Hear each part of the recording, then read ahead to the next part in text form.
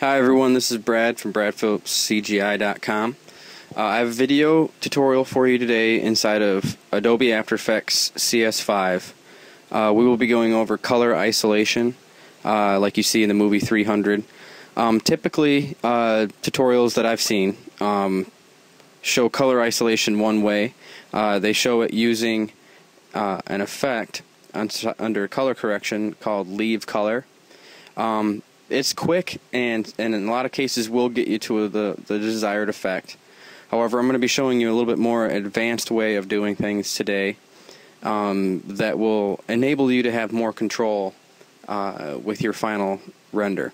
So, uh, for an example, uh, I'll turn off levels here and I'll turn this off. And this is what we started with.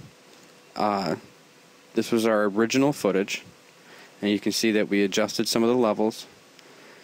And then finally this is what it ended up looking like with a gray world and a uh, all the reds popping still. So uh, just for a, a moving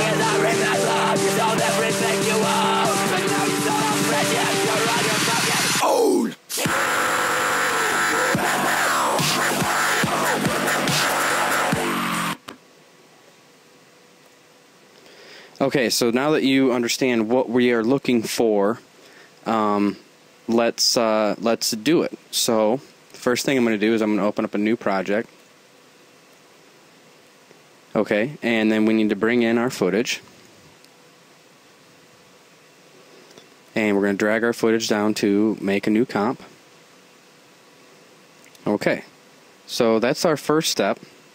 Let's just scroll through here Okay, so first thing we need to do is duplicate this layer. I'm going to highlight it and hit Control D to duplicate the layer. Then um, we will actually be turning off this back layer to start. Fairly simple um, a way of doing it. We are going to add a color key and we're going to be keying out the reds that we want to uh, keep on this top layer. So we'll turn that up, maybe adjust the color. That looks pretty good, and we will try to get as much of that color as possible without grabbing much of anything else.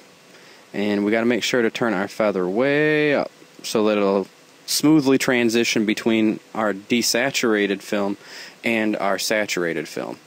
So, now that we have that and we turn this bottom layer on, um, you can see what's going to be kept on the bottom layer.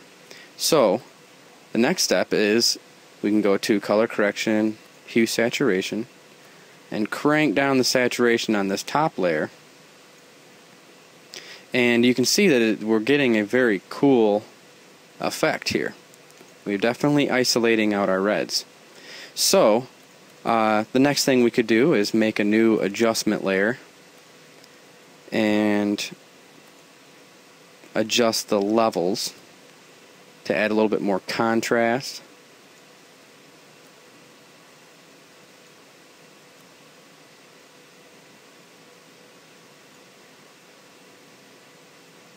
And maybe even to add some color back in.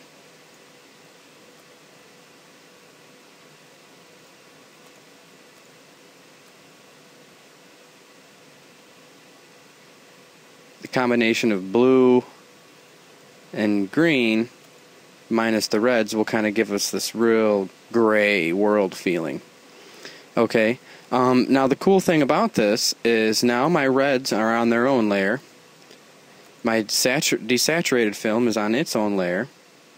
And then my final effects are on another layer altogether. I like doing it this way because, like I said, it gives you a lot more uh, control. See, now I can go down here and I can add some levels to the, the reds and adjust that.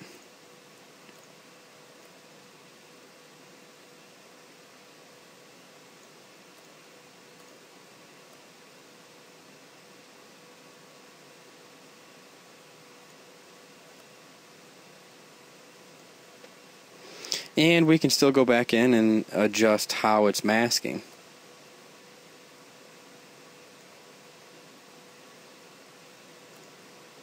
And you can see that we end with a very different and cool effect.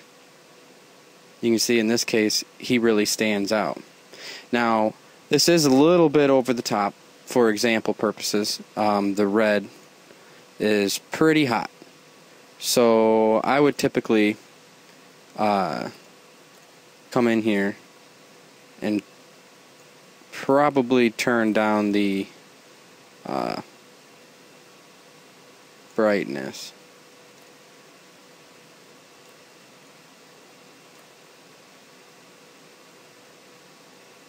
As such.